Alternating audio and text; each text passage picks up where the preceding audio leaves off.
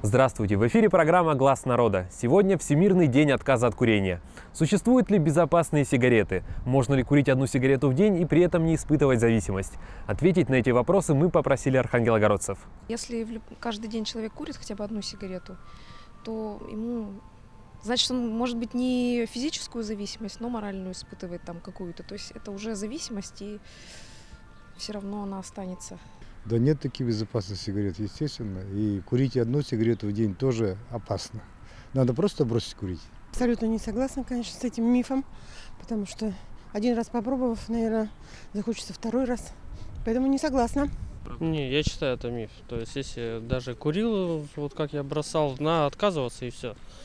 То есть то, что э, один раз сигарету куришь, это все равно то же самое курильщики и семья тоже пассивные курильщики. Надо, если отказываться, отказываться на раз. Конечно, миф это. Ни одной, ни другой не надо ничего вообще курить, здоровье портить.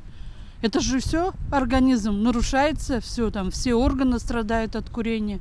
И вообще не надо. И окружающие страдают да, и если этого. даже где-то там работают вместе, и тоже страдают окружающие, говорят, еще больше они этим дымом заражаются. Вам, наверное, стоит лучше о курении спросить у курящих людей. Они лучше знают. Они, лучше себя знают, да. Они же себя успокаивают, поэтому они вам лучше скажут, миф это или нет.